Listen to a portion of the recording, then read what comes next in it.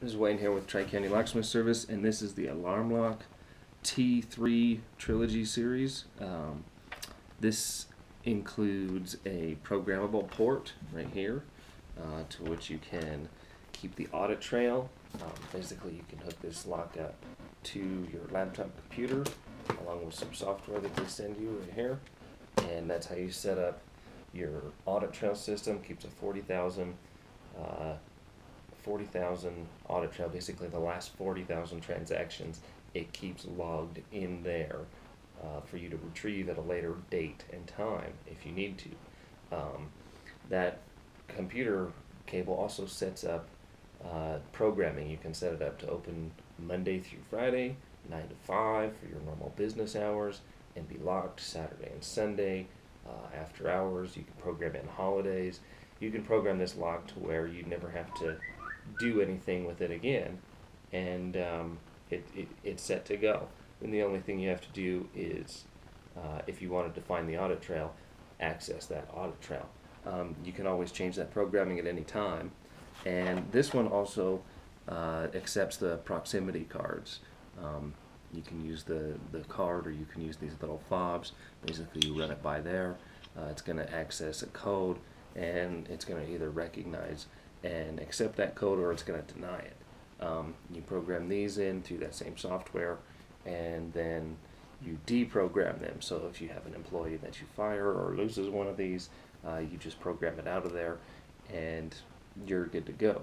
You can also always use the keys as a backup access and you can always use the manual key override as a backup access.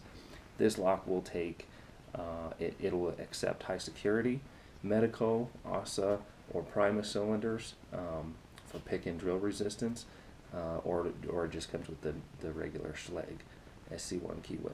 So this is a great way uh, for you know government agencies, libraries, police departments, um, the correctional facilities, just about everything uh, that you could think of. This is a great commercial application lock. And the other thing I want to show you is you can see these um, bolts here and then the bolts come through here. So uh, if you if you're in a high impact area where you may have you know um, the, the lock may get hit or kicked or something like that, it's going to deal with a lot of that abuse and it's going to take it very very well. Um, this is also a standalone unit, which means it does require batteries. Uh, this is your battery pack. There's five AA batteries in here, regular standard batteries. Um, but the advantage to that is that you don't have to hardwire this lock in. So the installation is much less expensive than having a hardwired unit in. And you don't have to worry about power going out and your security being compromised. Uh, it's all it's all taken care of right in here.